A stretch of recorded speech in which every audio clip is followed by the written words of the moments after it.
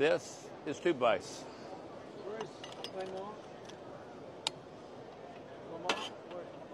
This is tube vise, tube vise duo. So with this one, I can actually individually clamp it down.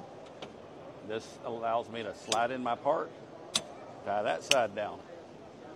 Now let's talk about this one. This is Tube Vise Pro.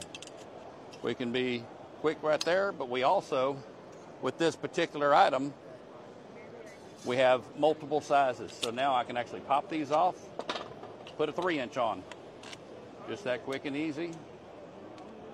And now not only do I get tube uh, sizes, I can make them in pipe sizes too.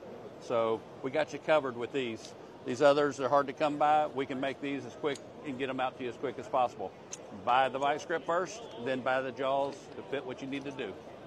Come see us.